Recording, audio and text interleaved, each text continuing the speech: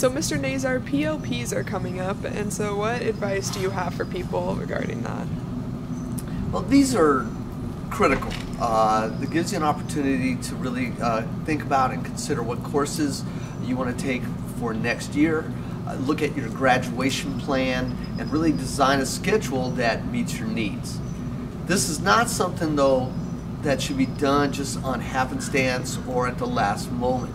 I really ask that you take some deep time to think about what are your educational plans? What are my goals? What are the courses that I really am passionate about? What are the courses that I need to take?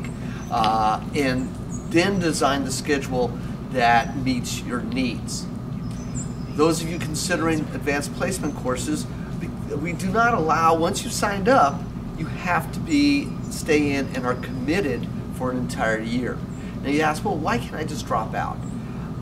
One of the problems is, is we offer a lot of AP classes, much more than most schools, and especially uh, we have one of probably the most for any smaller school in this area.